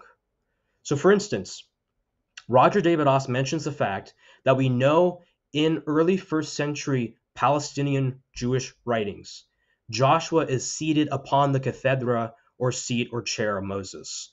So he writes, quote, Moses is raising Joshua into the seat before him in the pre-70 CE Palestinian writing Testament of Moses, with the noun cathedra for seat, and his seating causing Joshua to sit upon his chair, armchair, in the Tannaitic Midrash Sifra on Numbers 27:19, as well as later, um, you know, interpret uh, later documents, all go back to the Aggadic interpretation of Numbers 27:19. The point of that document is simply saying that it was standard Jewish interpretation, at least during the time of Jesus and leading up to it, that Joshua was seated upon the seat of Moses. And we know that the New Testament authors and Jesus himself knew about the seat of Moses because Jesus mentions it in Matthew 23 2 to 3.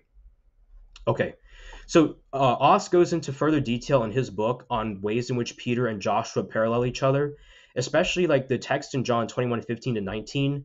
There are certain things that appear there that if you know the Jewish traditions, you would know that John is borrowing heavily from them. For instance, when when Jesus mentions the three sheep that he's handing to Peter, if you look in Jewish tradition, it says exactly the same thing that Moses handed those same three sheep to Joshua when he was appointing him as his successor over Israel. Now, one thing I want to focus on is the confirmation of the fact that Peter is seated on the seat of Moses. I think this occurs in Acts chapter 5 verse 1 to 11. So in Acts chapter 5 verse 1 to 11, I think we see a good parallel with Joshua 7:25. So both Peter and Joshua, once they become the leaders of Israel, they both judge cases where someone had hoarded property they should not have possessed. They uh, both ending with the death of the perpetrators by divine sanction. And here I have a quote from the Protestant New Testament scholar Ben Witherington III on page 217 of his commentary on the Acts of the Apostles, where he also cites that, yeah, these are parallel cases to each other. So he's citing a scholar named Derrett, and he says here, quote, when a man had been struck down by the hand of heaven, as Joshua specifically says was the case with Achan in Joshua 7:25, his corpse must surely be consigned rapidly and silently to the grave. Uh, no one should mourn him. The suicide, the rebel against society, the excommunicate, the apostate, the criminal condemned to death by the Jewish court would be buried in haste and without ceremonial and uh, without ceremony, and no one might indeed observe the usual lengthy and troublesome rituals of mourning for him. Notice that when Ananias and Sapphira are rebuked by Peter, which people which scholars acknowledge is his use of his binding and loosing authority, this is stated by F. F. Bruce and others in Hard Sayings of the Bible, their entry on binding and loosing. They mention the fact that Peter uses his disciplinary function as a rabbi now to condemn Ananias and Sapphira. Okay, so he condemns them, and they both fall dead. And Joshua says that uh, just as he, you know, uh, as Achan had fallen dead, it was because of the hand of heaven or the hand of God. So in both cases, Peter and Joshua judge a similar case. In both cases, the rebuke comes with death, and in both cases, the death is caused in some way by God Himself. And I mean, the parallels are just incredible. And then, moreover, the Jewish people believe that the Sanhedrin of the seat of Moses was established in Deuteronomy 17 to 13. And notice what it says in Deuteronomy 17 to 13. Then what this is so this occurs after Moses is talking about if the rabbi issues his ruling, the priest or the judge, and you disobey his ruling, you have to be put to death. That's what Moses says when he's establishing his court. And then notice he says, Then all the people will hear and be afraid and will not act insolently again. So in the Greek, in the Septuagint, the Greek translation of the Old Testament around the time of Jesus, it says, will hear and be afraid. So notice the Greek words that are used there. It's a formula where if you disobey and you die, you know, the people will hear and be afraid. In Acts 5 5, when Peter rebukes Ananias and Sapphira, the people heard, and great fear came over all those who heard about it. In Acts chapter 5 uh, 11, it switched to where a great fear came over the whole church and all the people who heard about these things. So notice once again, disobedience of God's representative leads to death. The people hear and are afraid, and only Acts 5:11 kind of switches the order from hearing to being afraid to fearing to hearing. And so what I'm saying here, oh, and I should have included this quote, but do I have it? No, I don't. Well, Roger David Aus talks about in his book how Palestinian. Wait, is it here? No, I don't. I should have had it. Uh, it talks. He talks about how um, Palestinian and early Hellenistic Jews would have viewed Peter then as seating, sitting on the seat of Moses, just as Joshua had received the seat of Moses. And in effect, then, the entire power of the Sanhedrin would be concentrated into one man. And this is where we get the idea, at least, of an ex cathedra pope. So when you when you turned off your screen, it like automatically went to my face, and I was just like sitting here looking bored. Hopefully that didn't uh, throw people off. So yeah, no, I was uh, I, I was glad to to get through all of it, and I was thinking about the value of uh, what we just did just now. I mean, we're already over time, so I don't think we're gonna have a whole lot of time to discuss what you just presented. But I but nevertheless, I still think there's a whole lot of value in what was presented, uh, partly because when I started to investigate Catholicism, I didn't think that you could make a really good, strong, robust case for the truth of it. And so I think that this today is actually going to just be a nice counterexample to that to show people that, hey, you've got to do more work, you've got to research it, you've got to look into it deeply. And that's not to say that Catholicism is necessarily therefore true, just to say that there's a whole lot more uh, to it. And I would encourage everybody to, to look deeper into it just because it's it's important to seek truth and beauty and goodness, like we talked about earlier. So yeah, I mm-hmm. think there's a whole lot of value in in that. So thanks thanks for putting all that together. It was beautiful. And so let's uh let's get down to uh, just some some things, some sticking points for me. Uh, the silver bullet thing at the very beginning, I would like to talk about that uh, just a couple minutes. So silver bullets, I, I I still don't like them. I think it's better to talk in terms of uh, evidential like pieces. I don't I don't know the best analogy. I know you yeah. like analogies. I don't know the best analogy to use uh, in this case. But you know, you've got this way. This may weigh in favor of Protestantism. This one may weigh in favor of Catholicism, and then you just got to weigh everything together and see where the balance of the evidence weighs. That I yeah. think to to me that's like the best way to do it. So even if you've got a, what you think is a really good argument for the magisterium, I think you still got to weigh that against you know some kind of argument that you could make for annihilationism from Scripture, or uh, you've got all of these other. I mean, because what you could do here's something uh, to consider, Suan, is that it's very easy to put all of these into deductive arguments. So you could say if Catholicism is true, then annihilation is false. Second premise, annihilationism is true. Therefore, conclusion, Catholicism is false. So in that case, because it's a deductive argument, you've got to be able to deny one of the premises, and you don't really want to deny the first one because the Catholic teaches, uh, the Catholic Church teaches that annihilationism is false, or that tr- the traditional view is true. So you'd have to deny the second premise, but then you're just going to have to get your your hands dirty and, and get into all of the, the literature on annihilationism versus traditionalism versus universalism. So I think yeah. that, uh, that, that that's I suppose the main reason why I don't like the, the silver bullet terminology. I think that ultimately is still going to come down to assessing the evidence mm. overall and, and looking at the big picture. Right, but if we if we look at the claim that the san that this magisterium is based upon the messianic identity of Christ, which is something that you and I both agree and accept that Jesus is the Messiah. And we mm-hmm. both agree that we have to interpret historical documents within their proper context. Um, and we look at the early Jewish context of the church. I mean, I'm, we're talking sources from the first century, like Clement of Rome and Ignatius of Antioch, and we see what they're saying. It aligns perfectly with the idea of a, Sanhed- of a, of a new Sanhedrin or magisterium. And so the point that I'd make here is that if you want to say that on one hand, you know so for instance let's say that you try you, you this is part of our evidential uh, you know look at the dialectic right this is a piece of evidence that goes into the whole picture um, the problem is that if you try to say okay but i believe in annihilationism but i believe christ established a magisterium and then you know that that magisterium has already spoken right about the issue of hell and so on and so forth then you have to find a way to reconcile the two um, some way somehow and so what I'm saying is that the magisterium received divine authorization from Christ to interpret the scriptures, to sift through the traditions and determine which of them are valid and which of them are not. Um, and that's the, that's the point that I'm making there. If the yeah. magisterium is true, then you're not at liberty to disagree with it. I don't think though that you could argue that the magisterium is entailed by what you've said. So there there always is going to be like some wiggle room. So you could come up with some alternative interpretation. I mean, you mentioned the one right. from Steven Nemes, even though you don't think that that is like a good, you know, a good alternate interpretation or it's like it's, it's a good position, uh, you disagree with it, but it, it is nevertheless an option. So you could say uh, option in the sense that it's just like broadly logically possible. So right, and uh, uh you know, sorry, sorry, I don't mean to interrupt, but um, one point that I do want to make, right, is that just because it's possible, I don't, I don't place much value or weight upon that, right? If you want to say it's equally plausible, then that's another question to consider.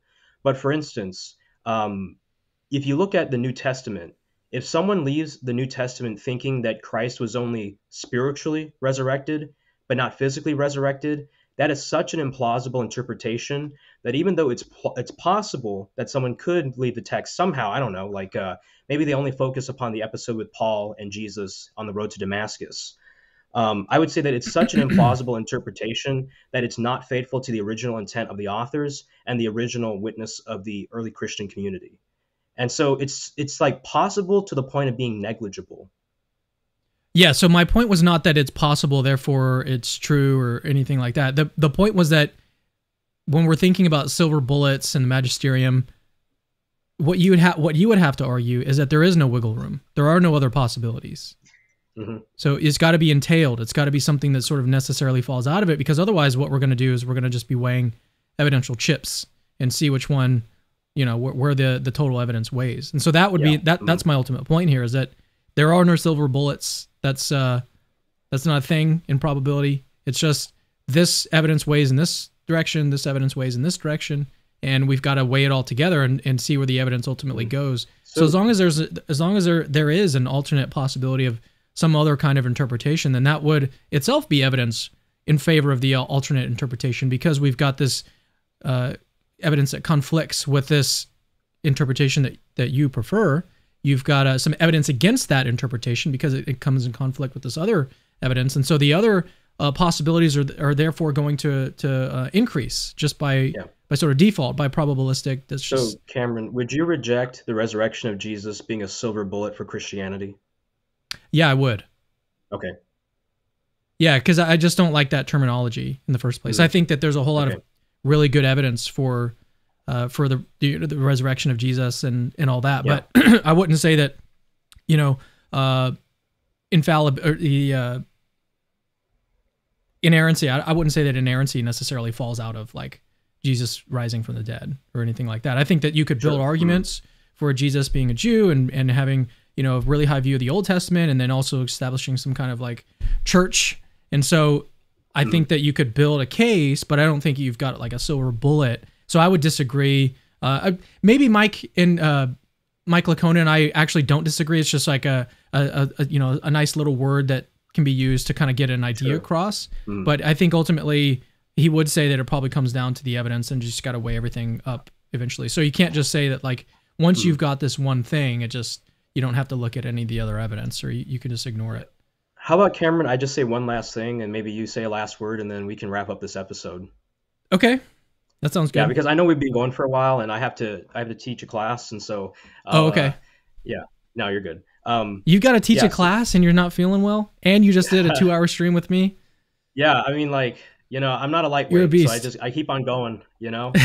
got to do the Lord's work. Um yeah, but uh, yeah. Well, once again, Cameron, thank you for having me on. I'm sorry that I just like dumped all this evidence on you and everything, but uh, I hope it was of help in some way or some capacity. Right? It gives you something to think about, and even your audience too. And the point that I want to make is that, you know, if you're looking back at early Christian history, and you want to know where did the church get the idea? Where did the Christians get the idea of a bishop? Where did they get the idea of a council? Of issuing anathemas, of excommunicating heretics? when you look back into the New Testament and the early context of Christianity in its Jewish roots, what you find, I think, is exactly what you would expect in the evidence. Whereas the Protestant ecclesiology doesn't seem to line up well with the evidence at all. And some Protestants I've known have made the objection well, okay, Suan, I accept that Christ established this magisterium, but it only lasted one generation with the apostles and it died with them. The problem is that when you look at the background context of what's going on in the New Testament, the power to bind and loose was passed to successors with full power. And we know that the practices of apostolic succession can be traced back to the first century in the teaching of Clement of Rome, who personally knew the apostles in the first century, um, and even the Jewish practices of the courts of their day. And so, my question to you is if this isn't enough, a document from the first century, from someone who knew the apostles, if this isn't enough, then what will be enough? um, when we look at the early history of the church, when we try to steal man and be charitable towards the church fathers, I think what we find is exactly what we would expect if at least the Roman Catholic or Orthodox ecclesiology were true. Christ as the Redeemer of Israel and the entire world, Christ as the fulfillment of the Old Testament and the prophet like Moses. He created a new Sanhedrin and a new magisterium. And I want to ask you the question if you lived in the Old Testament, let's say, and you were living under Moses, and Moses demanded that you obey the courts that were interpreting the Torah, would the arguments that you're using against a New Testament court also be used against Moses in the Old Testament? Because we know for a fact that Moses established the courts of Israel, and you were not at liberty to disagree with the courts when they interpret the Torah. If your argument could defeat that, then it could also defeat the Old Testament and Moses as well. And so I'm saying is use a consistent standard. And I think what we'll find is that when we look closer at the identity of Christ and the early Christians, the witness is simply overwhelming that they intended to establish a new rabbinic authority that can interpret scripture and discipline the community. We were not meant to interpret the Bible by ourselves on our own. We were meant to, as Christians, to have a home in the church with a living tradition going back to the apostles that can show us the truth and the way. And I know that um, you know there are those who will disagree with me, Maybe there are some who find this convincing or not. And I just want to say that at the end of the day, I do believe, you know, that um, that Christ is the Messiah, that Christ um, is inviting us to become part of the Catholic Church, to be part of the magisterium that He built. And so it's my hope today that at least the evidence I presented shows us how we love Christ. Because in John 14, 15, Christ says, If you love me, then you'll do as I command. Who are we to disagree with the Messiah? All right, thanks for that closing. And I just wanted to reiterate that I think that this is super valuable. I think that uh, the presentation that you gave was really, really well researched, so much detail and information. So I'll, I'll just share some some sort of overall thoughts on the presentation and kind of close it out. So yeah, I've already talked about the silver bullet thing. I uh, don't really have a whole lot of problems about Moses being founding father and then uh, Jesus being a sort of new Moses. I think that theme is pretty obvious in Matthew and uh, kind of throughout the New Testament the whole concept of binding and loosing, I thought that was really, really uh, fascinating. I really appreciate you del- delving so deep into that. And what I guess what I would say there is that uh, you said something that was super interesting about the way that the authority is sort of transferred, and that that it actually comes from heaven. And I think that that's ultimately going to be sort of a pebble in your shoe, or like a something that's going to maybe work against you ultimately. In that what you have is you've got. So I, I was thinking of a, of an example of my my daughter, my son my daughter's six. My son just turned four. And sometimes what I'll do is if uh, my son say is playing upstairs and my daughter is downstairs, I'll say, "Hey, Cammy, come in here.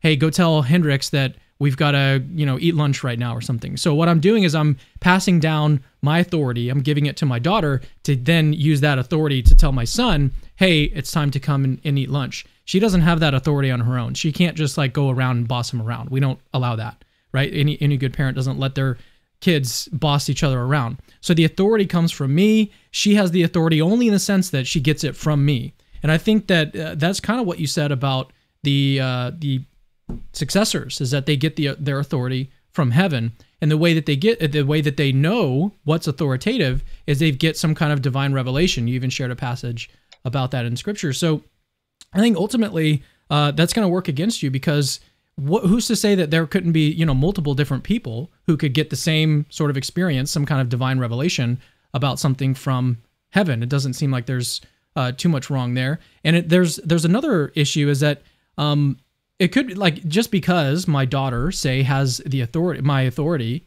and that i've passed it on to her it doesn't therefore follow that she's carrying around that authority infallibly or that she's she never gets it wrong. She didn't mishear something that i told her so I think that um, ultimately that's going to be kind of a thorn in your side.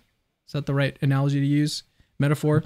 Um, but that was just some, you know, initial thoughts. I'm sure that we could go a whole lot deeper into that if we had more time. I'm sure you want to do part go. three, maybe, or something like that. we'll see. We'll see what we can do.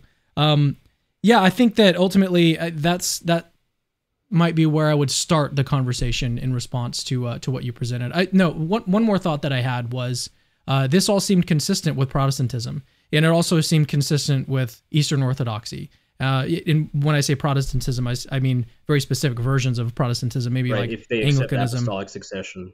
Yeah, maybe Anglicanism or yeah. So it didn't it didn't seem like this was uh, necessarily a strong argument for Catholicism proper, more like something you know apostolic succession, maybe an argument for that for for a, some kind of magisterium.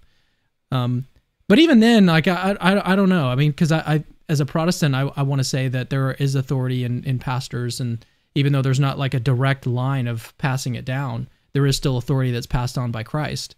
So and that can happen like doesn't have to be some kind of like temporal succession between human beings and some kind of like ceremony. I don't know. So, th- but th- th- again, that would just be the start of a conversation. This is, I know you've got a thousand things to say in response to what I just said, but you can't say anything because this is my closing, and I'll let you talk. Yeah.